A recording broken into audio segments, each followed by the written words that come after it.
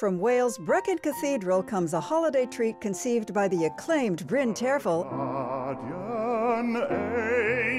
and featuring his friends Natalya Romaniw, Tristan Llŷr Griffiths, and the Welsh group Calan. Start smiling with holiday sounds of music and more. Look for Bryn Terfel and Friends in concert. A party you will not want to miss. From great performances at the Met.